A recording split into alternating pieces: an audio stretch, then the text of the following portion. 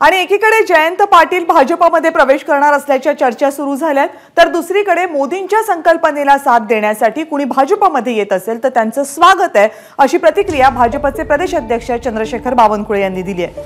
आणि यावरूनच विरोधी पक्षनेते विजय वडेट्टीवार यांनी भाजपवर निशाणा साधलाय. भाजपनं चारशे पारचा नारा पूर्ण करण्यासाठी इतर पक्षातल्या नेत्यांना पळवण्याचं काम सुरू केलंय अशी टीका वडेट्टीवारांनी केली आहे.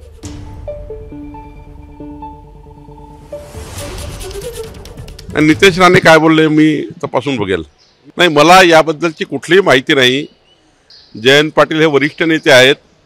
मला ते कुणाच्या संपर्कात आहे हे माहिती नाही पण माझ्या तरी संपर्कात ते कधीही नाही.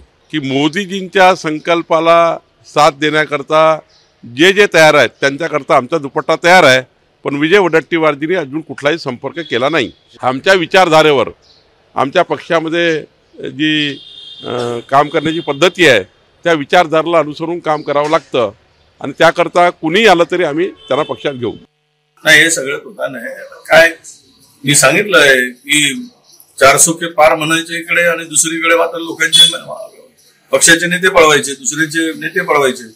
म्हणजे यांच्या पायाखालीची वाळू घसरली आहे. यांच्यात आता निवडणूक जिंकण्याचा दम राहिला नाही. त्यामध्ये काही तथ्य नाही. यावेळेस या देशातून मोदी सरकार बाद झालेला दिसेल. असले नसले काहीतरी आहे ते एक परसेप्शन तयार करण्यासाठी दुसऱ्या पक्षातील नेते घेण्याचं काम सुरू आहे आणि आपली इज्जत झाकण्याचं काम सुरू आहे असं माझं मत आहे. एबीपी माझा. उघडा डोळे बघा नीट.